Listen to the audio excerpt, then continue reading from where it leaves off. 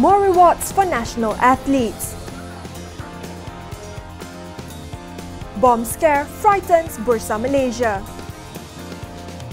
Hi, I'm Suhaila Saifuddin and this is Cuppa News.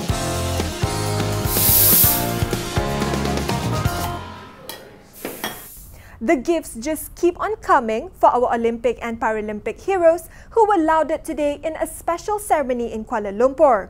They received cash prizes and plaques for making the country proud at the recent games in Rio de Janeiro. Saya nak supaya kejayaan mereka itu dijadikan sebagai batu loncatan untuk kita meraih kejayaan yang lebih besar lagi dalam bidang sokan. Kita tahu kesannya sokan sebagai unifying factor. At the special ceremony, UMNO presented each Olympic and Paralympic bronze medalist 10,000 ringgit, while silver and gold medalists received 20,000 ringgit and 30,000 ringgit respectively. The athletes and chef de missions were also given plaques for their success. Saya kita semua ini terus menerus memberi penghargaan kepada mereka kerana pencapaian mereka yang luar biasa yang begitu hebat. Malaysia's athletes brought home three silver and a bronze medal at the Olympics and three gold and a bronze medal at the Paralympics in Brazil. Meanwhile, Najib took to his blog today to post an audio message blaming one old leader for causing disunity among Muslims, eventually resulting in them to split into three parties in the nation.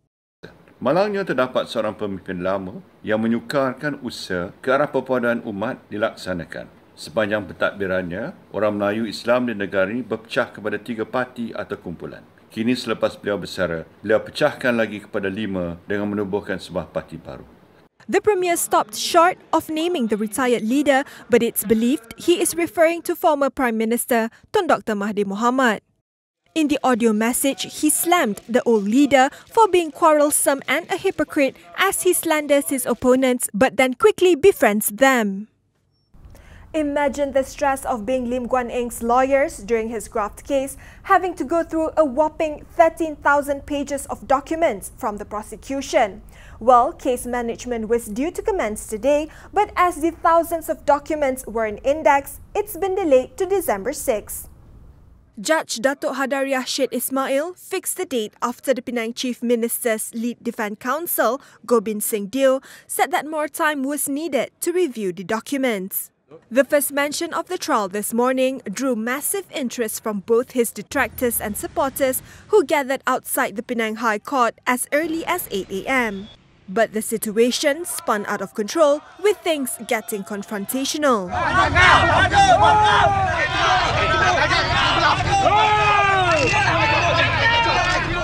Lim had claimed trial to a charge of using his position to obtain gratification for himself and his wife Betty Chew by approving an application to convert two lots of agricultural land for residential development in 2014 and subsequently buying his bungalow on Pinhorn Road at a below market price. Businesswoman Phang Li Koon, the former owner of the Pinhorn Road bungalow, was charged with abetting Lim. At a press conference today, Lim said he leave it to his lawyers to prove his innocence. Yang kita hendak bukanlah pemain silap masa. Yang rakyat nak ialah pemimpin yang bersih, yang amanah dan juga membela hak rakyat.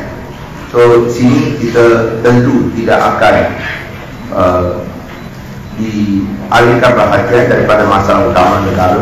Semoga uh, saya kena menghadapi dakwaan tersebut tapi akhirnya uh, kalau saya akan buat pembiraan untuk membuktikan bahawa kita memang bersih He added that DAP and the Penang government will continue to focus on abolishing the burdensome 6% GST.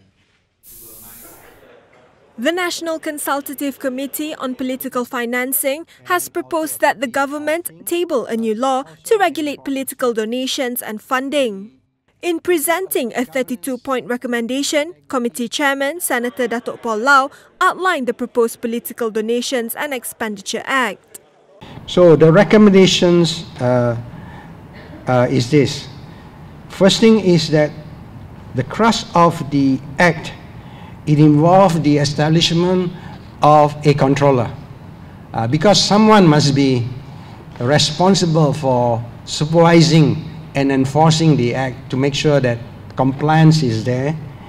And also, he will be always uh, supervised by a board comprising of credible and trusted figure uh, with no active politician.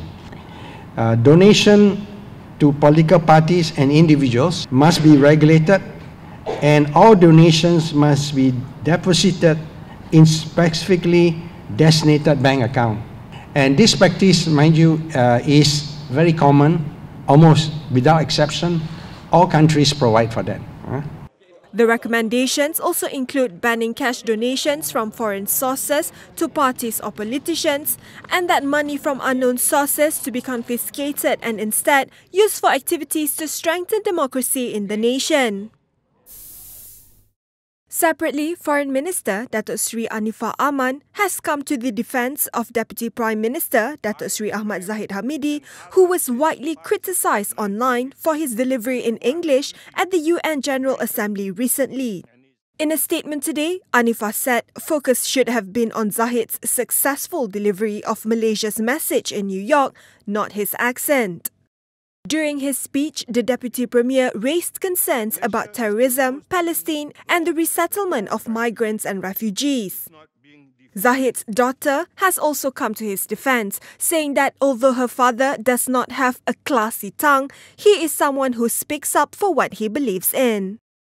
It was a bad day at the Bursa Malaysia building after the company's operator received a bomb threat which led to the building being temporarily evacuated and put on police lockdown.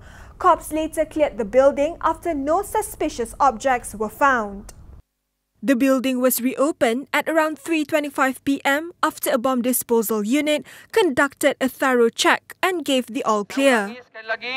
Untuk makluman, uh, daripada pihak PDRM memaklumkan bahawa bangunan Bursa Malaysia selamat untuk kita masuk dan juga untuk dimaklumkan jika staf masuk ke tempat masing-masing tentukan jika terlihat perkara-perkara yang ataupun ataupun jumpa uh, benda-benda yang pelik sila maklumkan kepada anggota keselamatan dengan segera.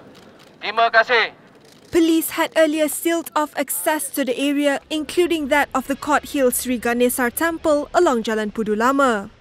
A K9 unit was also deployed following the bomb threat, which was made around noon from an unknown caller.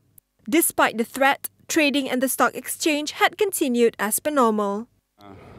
Dari segi uh, operation, uh, Alhamdulillah, we still continue to operate. Uh, unlike some uh, report uh, that indicate that we did not continue or we resume operation after uh, the police punya investigation. This is by the call center. Uh, operator. The operator. Operator. It's a very short call. So. Did the caller mention specific uh, bag or uh, boxes? Oh tak ada, tak ada. Dia cakap bursa dan apa kuil di uh, sebelah bursa. Although the building has been given the all clear, police are reminding the public to remain vigilant. Police today took a woman back to a gruesome murder scene, her family's apartment unit in Taman Sri Sinar, Segambut, where her husband and two children were found dead.